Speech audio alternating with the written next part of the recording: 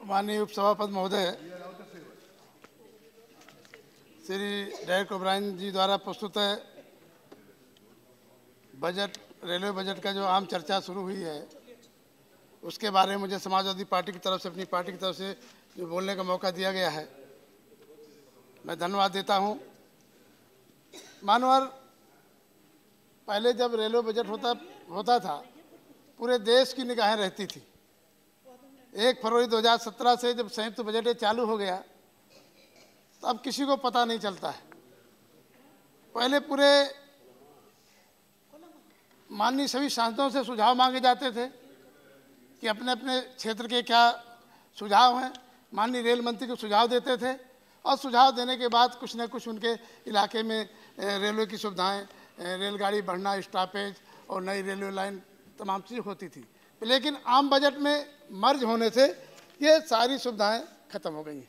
और मनोहर, अब इधर देखने मिल रहा है कि रेलवे विभाग पूरी तरह से पीपी मॉडल के माध्यम से प्रोटाइजेशन की तरफ़ जा रहा है। जब निजीकरण हो जाएगा मनोहर तो इसमें सबसे बड़ी परेशानी देश के लिए है कि आपके पास निजी रेल नहीं होगी। एयर इंडिया आपका बिक गया बिकी रहा है बोली लगी हुई है ना आपके पास हवाई जहाज़ होगा तो आप क्या होगा आपके पास? आज जिस तरह से तेजस ट्रेन जो प्राइवेट चलाई गई वो एक साल में सौ करोड़ से ज़्यादा प्रॉफिट पाई। और इतना नहीं उसको वीआईपी सुविधा दी जा रही है जैसे प्रधानमंत्री कहीं जाते हैं या राष्ट्रपति जाते हैं तो उनके लिए प्रोटोकॉल होता है रास्ता बंद कर दिया जाता है। जब तेजस ट्रेन चलती है तो आम आदमी की यात्री रेल ट्रेन जो है, बंद करके उसको आगे पास कर दिया जाता है। तो आम जनता, पूरे देश की आम जनता में हताशा और निराशा हो रही है कि ये क्या हो रहा है। ये वैसे तो वीआईपी लोग ज़्यादा से ज़्यादा हवाई जहाज़ से चल रहे हैं लेकिन अधिक किराया, जो हमारी ट्रेनें चल रही हैं, शताब्दी चल रही हैं, और ट्रेनें चल रही हैं, उनसे प्रीमियम किराया किस तरह से बढ़ा करके ये तेजस ट्रेन वगैरह में लिया जा रहा है। पता नहीं जितनी हमारी पैसेंजर ट्रेनें सबसे ज़्यादा पैसेंजर ट्रेनों में हमारा ग्रामीण देश का आदमी यात्रा करता है। वो सारी की सारी प्राइवेट होने जा रही हैं।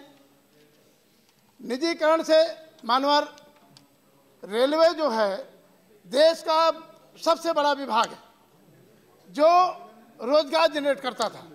और लोगों को आशाएँ रहती थी कि हम रेलवे में रेलवे में जो कर्मचारी हैं, अपने उनके बच्चे रेलवे में हो जाते थे, जो बच्चे पढ़ रहे हैं, रेलवे की फार्म भरते थे, नौकरी प्राइवेट हो जाने से तो दोहरा नुकसान होगा। एक तरफ़ जो हमारे ओबीसी के लोग हैं एस सी के लोग हैं, उनका सारा का सारा आरक्षण खत्म हो जाएगा। वैसे भी क्रीमी क्रीमी लगा करके उनको 27 परसेंट का आरक्षण भी ओबीसी वालों को नहीं मिल पा रहा। अब प्राइवेटेशन हो जाने की वजह से ये भी सुविधा समाप्त हो जाएगी। ये शंका है, मानवर। ट्रेनों में जो इस सुरक्षा का मामला है जब महिलाएँ ट्रेन में चलती हैं, चढ़ती हैं तो सोचती हैं कि ट्रेन में जाएँ कि न जाएँ। ट्रेन में किसी प्रकार की कोई सही सुरक्षा नहीं है। वहाँ पर तमाम गैंग, तमाम ट्रेनों की डकैती, लूट डकैती हुई तो उसकी सुरक्षा के लिए मंत्री जी क्या उपाय किए हैं, कैसे चलेंगे? प्राइवेट में तो और खतरा रहेगा। वो तो आपके हाथ में था। हमने सुना है कि जो रेल आरपीएफ है, उसको आप मर्ज कर रहे हैं कहीं? तो आपके पास क्या रहेगा? पुलिस भी नहीं रहेगी ना आपके ट्रेन रहेगी तो आपके पास क्या रहेगा? कैसे देश के नागरिकों महिलाओं को सुरक्षा देने का काम करेंगे? मानो मेंटेनेंस जो रेलवे ट्रैक हैं बहुत पुराने हैं। उन पर जितना मेंटेनेंस किया जाना चाहिए तो उसमें मेंटेनेंस नहीं किया जा रहा। उसकी आवश्यकता है जिससे तमाम रेलवे दुर्घटनाएँ हो रही हैं। तो इसके लिए ए, आप एक तरफ़ स्पीड ट्रेन चला रहे हैं। उसके लिए क्या व्यवस्था है? जब तक आप पूरी बैरिकेटिंग अपनी रेलवे ट्रैक की नहीं करेंगे, तब तक जो है, आप उसको सुरक्षित ट्रेन को चला ही नहीं सकते हैं। तमाम जानवर बीच में आ जाते हैं। हम तो बुंदेलखंड के रहने वाले हैं। वहाँ हज़ारों गाय जो है रेलवे ट्रैक में घूमती रहती है। झांसी रेलवे स्टेशन देख लिया जाए तो डेली जो है दस बीस गाय जो है रेलवे ट्रैक में कटती है। हमने मीटिंग में डीआरएम की मामला उठाया। तो उन्होंने कहा कि हमारी व्यवस्था नहीं है, हम लोग कोशिश करते हैं, हमारे पास कोई कर्मचारी नहीं है। तो ये ये सब देखने की ज़रूरत है, मानवर। जो मानवर निजीकरण हो रहा आम आदमी की जेब पे बोझ पड़ेगा। जिस तरह से प्रीमियम किराया बढ़ाया जा रहा है, उससे ज़्यादा बोझ बढ़ेगा। और मानवर, इसके अलावा जो पुरानी बोगियाँ हैं, चाहे मालगाड़ी की हों, चाहे यात्री ट्रेन की हों, उनकी हालत गड़बड़ है। बाथरूम पता चला बाथरूम में जाए तो पूरा नीचे पूरा झर गया कोई कोई बच्चा जाए तो नीचे ही गिर जाए ऐसी ऐसी पैसेंजर ट्रेनों में कहीं कहीं हालत है तो इनको कैसे आप इनको इनको इनको सुधारने का काम करें This is wrong. Last one year regarding safety, cleanliness, we have done very well. The whole country आप appreciated. बताइएगा ना बता हम हम हम कह रहे उनको सुधार करने की आवश्यकता है जो जर्जर बाथरूम है उनकी उनकी उनको सुधार करने की आवश्यकता हम यही सुझाव तो दे रहे हैं आपको आप संतुष्ट ना होइए अच्छा काम करने बाकी है भी। मनोहर ट्रेनों की लेट लतीफ़ी वैसे इधर सुधार हुआ लेट लेट लतीफ़ी में हम इस साल देखें देखें कि साल चूँकि फाक कम हुआ उसका फ़ायदा रेलवे विभाग को मिला कि फाक कम होने की वजह से इस साल ट्रेनें कम ले, लेट हुई लेकिन अब जब प्राइवेट गाड़ी चलेंगी तेजस जैसे तो उनको रोक के वीआईपी ट्रेन जाएँगी तो ट्रेनें हमारी वैसे लेट होंगी। इसके अलावा मानवर अ, सभी ट्रेनों में जैविक शौचालय जैविक शौचालय की बात कही तो अभी इसमें एक कार करने की आवश्यकता है अभी सब जगह नहीं लग, लग पाए हैं। और मानो ट्रेनों में सुरक्षा के लिए इनके पास चूहे और मच्छर हैं।